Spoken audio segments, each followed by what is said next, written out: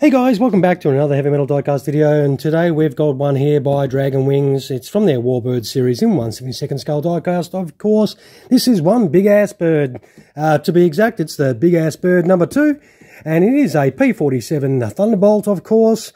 And uh, this particular one is from the 513th Fighter Squadron from the 406th Fighter Group from the 9th Air Force. And I grabbed this off eBay, uh, off a seller for $60. And uh, the 513th Fighter Squadron was actually primarily a ground attack squadron based in um, Europe during World War II. Uh, their primary roles was harassment of German ground units and positions, and it was formed in 1943, and it would be disbanded in 1946, of course. Uh, it was briefly reactivated in the 50s, but remains inactive since 1961.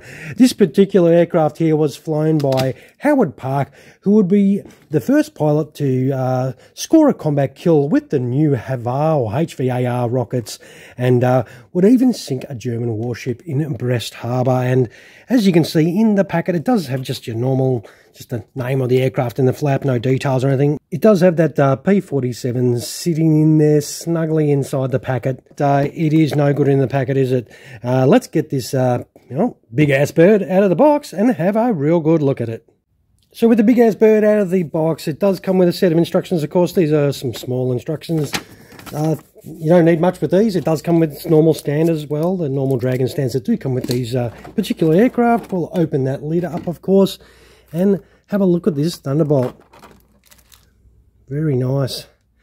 The packet's yellowed a little bit.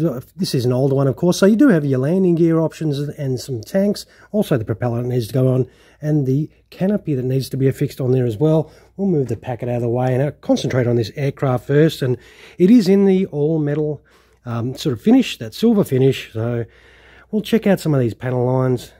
If it'll, it'll focus on it, which it does. It's got some great panel lines. You can see some rivets and everything on there. It does have those extra details. These Dragon Wings are really nice ones. It's got that beautiful red on the front of it. It's got the call signs. The D-Day markings underneath the aircraft for identification purposes, of course. You don't want to be shot down by friendly fire. We'll have a little look inside that cockpit. What do you reckon? We'll see if we can see some details in there. It's kind of hard to see. Oh, it's got some gauge details and everything on there. From the feels, the flaps, they do move, so that's pretty cool. It's got that big ass bird, number two, written on the side there. He just likes saying big ass bird. I wonder how many times I can say that in the video without even thinking about it. but I reckon it does come up neat. It is another nice looking Thunderbolt. We will turn it over, of course, have a little look underneath. It does look to be set up in flight mode. It does have the covers over the areas where we will be putting our landing gear, of course. We'll concentrate and have a look at those details underneath the wing there. Geez, there's a ton of rivet markings on here. That looks fantastic. Those machine guns the shell casing ejector ports, beautiful.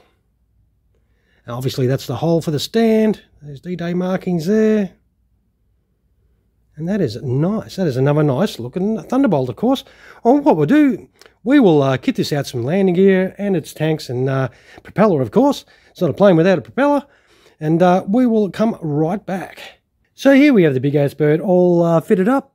It does set up reasonably easily. Uh, you just have to put those gear bay doors in and then the uh, main landing gear, of course, and then that tail wheel does drop straight in. It does have some colouring inside the wheel wells and everything like that.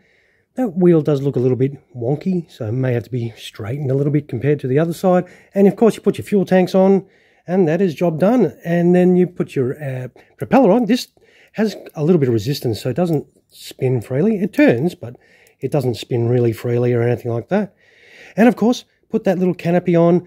And the canopy you can, um, you know, if you want to slide it forward, you can slide it forward and have it in the closed position or keep it in the open position depending on what you want to display it as. And uh, I reckon this is another pretty cool Thunderbolt. Um, it does set up relatively easy. And of course, you put the little uh, of tube sticking out the wing there. And that is job done. And that is another P47D all set up beautifully. And I reckon it does come up nicely. And of course, if you do, you know, want to chuck it on the stand, it's just in that little hole there, and that is job done, of course. And that is your big ass bird on the stand. Beautiful. I'll zoom in a fraction for you. And that is it. And that is another one done. That is, uh, of course, by a Dragon Wings, their Warbird series. And I think this does set up very nicely. So once again, this was the aircraft of um, Howard Park from the 513th Fighter Squadron from the 406th Fighter Group from the 9th Air Force. And this is his big ass bird number two. And I reckon it is a pretty cool looking unit by uh, Dragon Wings, of course. And I, I don't mind it at all. Um, I'll take some photos of this big ass bird, of course, and you can check them out without my sausage fingers in the way. Sausage finger tester, the Thunderbolt, you know, they are reasonably large World War II fighter, the old jugs, and I reckon, I always like a P-47, I reckon they look pretty tough. And uh, this one looks pretty cool. And uh, all right, guys, I will wind this video up. If you like it as much as I do, hey, give us a little bit of a like. And if you have yet to subscribe to the channel, feel free to do that as well. I uh, do thank you once again for spending your valuable time watching another one of my videos. I hope you did enjoy it. All right, guys, thanks a ton. And uh, you all have a fantastic rest of your day. Cheers, guys.